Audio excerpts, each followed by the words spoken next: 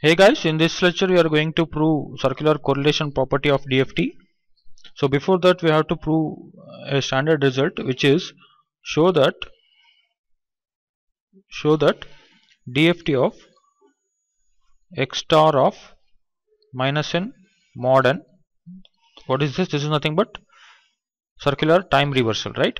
Is, is given by in frequency domain it is x star of k so we'll try to prove this. Uh, we will try to prove this result. Later on we'll uh, prove the circular correlation property of DFT so what is DFT of x of n? It is given by summation n varying from 0 to n minus 1 x of n e power minus j 2 pi by n into kn.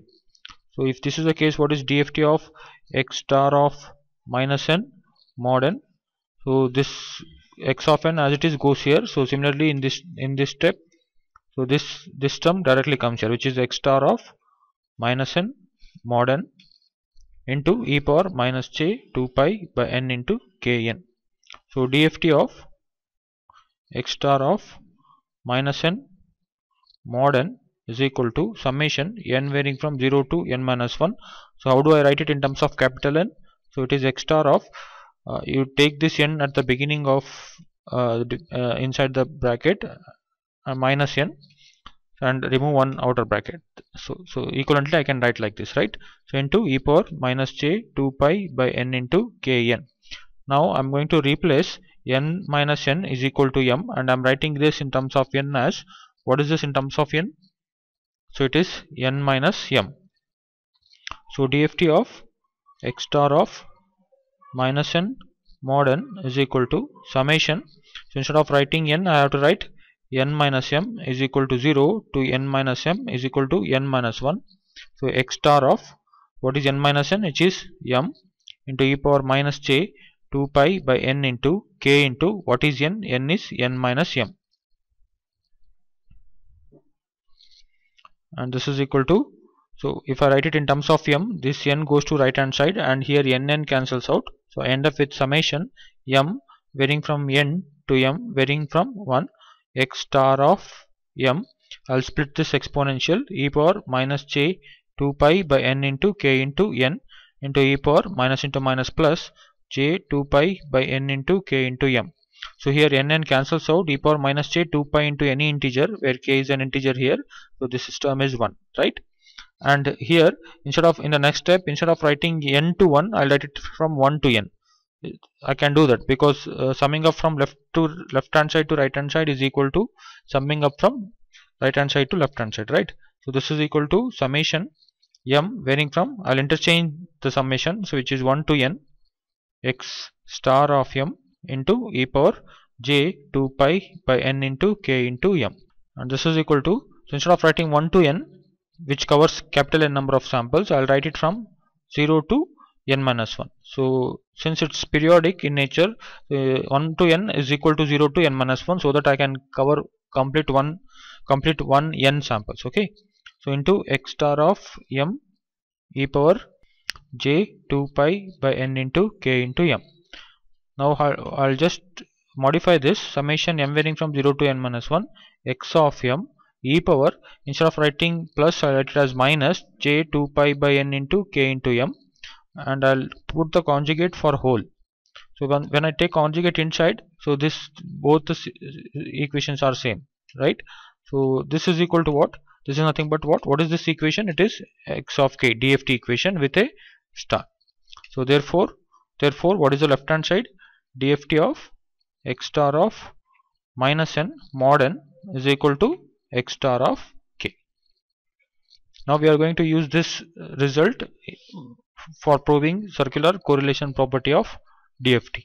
So correlation circular correlation uh, equation is given by Rxy of L is equal to summation n varying from 0 to n minus 1 x of n y star of n minus L mod n.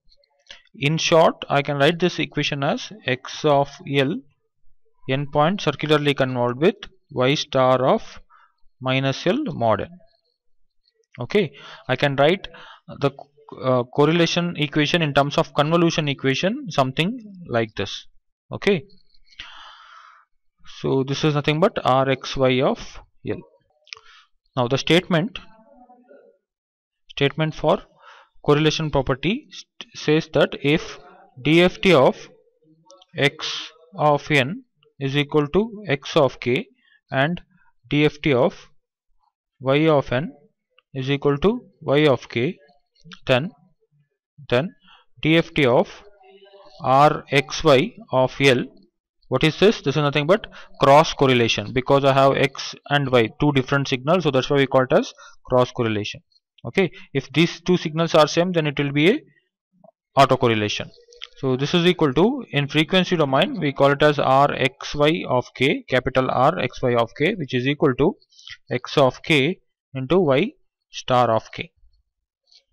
Correlation in time domain again is equal to uh, the same as what we had for uh, convolution. It is multiplication in frequency domain but one of the sequence is conjugated so we'll try to prove it.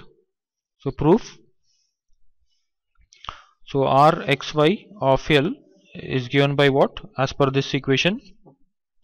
Summation n varying from 0 to n minus 1 x of n y star of n minus l mod n right? So r xy of l is equal to this. In short I can write like this. So x of l circularly convolved with y star of minus l mod n so if I take DFT on both side take DFT on both side both side so what is rxy of l? Dft of rxy of l it is capital rxy of k is equal to uh, dft of x of l is x of k and convolution in time domain is equal to multiplication in frequency domain. What is the dft of y star of minus l mod n which we have proved right? So if dft of x star of minus n mod n is x star of k right? If this is the case what is the dft of y star of minus l mod n so it is nothing but y star of k. So this is the proof for circular cross correlation property